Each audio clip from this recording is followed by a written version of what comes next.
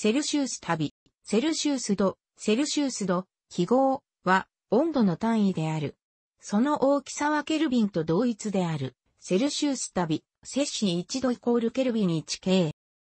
温度の単位という場合は、他の物理単位と同様に、温度の一単位、すなわち、温度感覚を言う。したがって、国際単位系、SI や日本の計量法での温度の単位は、ケルビン、または、セルシウス度、または単に、度である。セルシウス温度の単位は、セルシウス度であり、記号はで、定義により、ケルビンの大きさと等しい。温度の差、または、間隔はケルビン、または、セルシウス度のどちらによっても表すことができ、第13回 CGPM 1967から1968年、決議3、その数値は同じになる。セルシウス温度をセルシウス度で表した場合、その数値はケルビンで表した熱力学温度の数値に対して次の関係を持つ。蒸気のようにセルシウス度は単位の名称であり、ケルビンの大きさに等しい温度感覚を表す。一方、セルシウス温度は量の名称であり、ケルビンで測った値と273.15だけ異なる温度の高さを表す。しかし、一般にはこの違いが意識されず、セルシウス度とセルシウス温度とがしばしば混同され、混乱を招くことが多い。この混同は、可視度と可視温度にも見られる。熱力学温度と対応するセルシウス温度は、氷点を参照温度として参照温度からの温度差として定義される。また、セルシウス温度の単位である、セルシウス旅は、熱力学温度の単位であるケルビンと等しく定義される。なお、日本の計量法での定義は次のようになっている。計量を単位例にある通り、単に度と表記した場合は、セルシウス度を意味する。その単位記号は、度と定められている。元々の定義は、水の凝固点を0度、沸点を100度とするものであった。計量応法体系では、15セルシウス度、15度の表記、または単位記号の同符して、摂氏15度、読みは15度の表記が義務付けられており、摂氏15度や摂氏15度と表記することは、計量法上は許されない。ただし、俗用、計量法の規制が働かない場合など、計量法、取引、証明に該当しないものでは、例えば、摂氏15度や漢字による、摂氏15度の表記も見られる。英語では、と読み、15デグシートを略記することがある。アメリカ合衆国では、と読まれることがある。セルシウス旅は、国際単位系、SI における取り扱いが、他の単位と異なる点がある。その定義は、温度の SI 基本単位の一つである。熱力学温度ケルビンの項でなされている。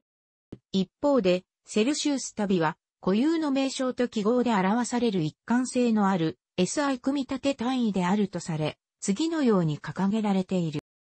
単位の名称では次のようになっている。量の値の書式では次のようになっている。セルシウス旅は、スウェーデンの天文学者で、ウプサラ天文台の創始者であるアンデルス・セルシウスが1742年に考案したものに基づいている。ただし、彼は、現在のセルシウス温度のメモリ付けとは逆のメモリ付けを行った。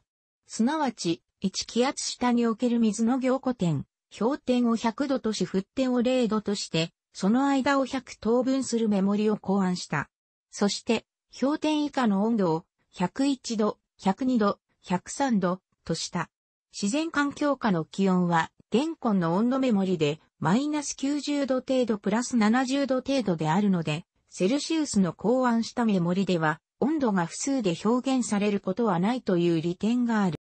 しかしその後、セルシウスの死の直後の1744年に、凝固点、氷点を0度、沸点を100度とする現在の方式に改められた。この改善については、誰か一人の功績によるものではなく、セルシウス、セルシウスの公認の景気製作者のの3人の貢献によるものである。なお、セルシウス度に最初期に注目し、実際に温度計をに製作させたカール・フォン・ディーンネの功績によるものはない。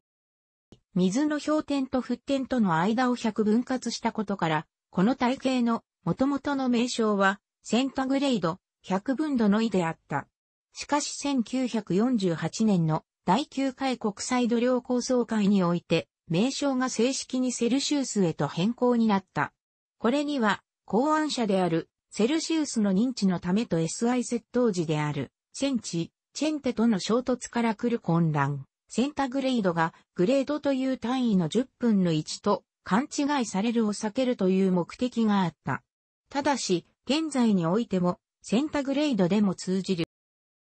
日本や中国では、摂氏度、日本では、摂氏度と呼ばれることがある。摂氏の語源は、セルシウスの中国音訳、節しか治むここから、節人名につける、節美字、地で、摂氏、温度になった。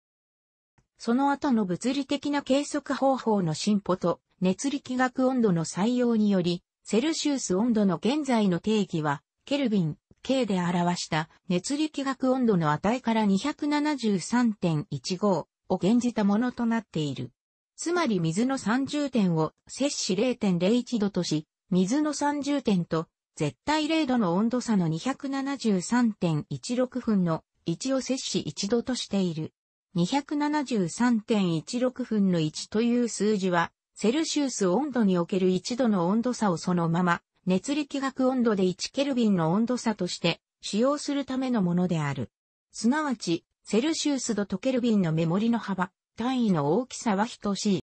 なお、現在の国際温度メモリ、ITS-90 では、水の融点と沸点は、厳密には、摂氏0度、摂氏100度ではなく、それぞれ0.002摂氏519度、摂氏99.9743度である、水、物理的性質を参照。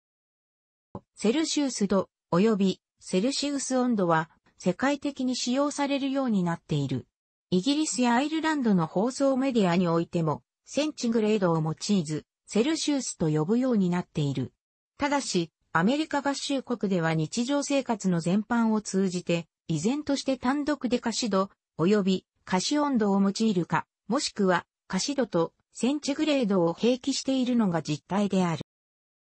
ユニコードのセルシウス度の記号は、既存の文字コードとの互換性のために用意されている互換文字である。ユニコード標準では、セルシウス度の記号は、ドと大文字の C を組み合わせて使用し、検索の際は、これと一文字のどを同一視することを推奨している。楽しくご覧になりましたら、購読と良いです。クリックしてください。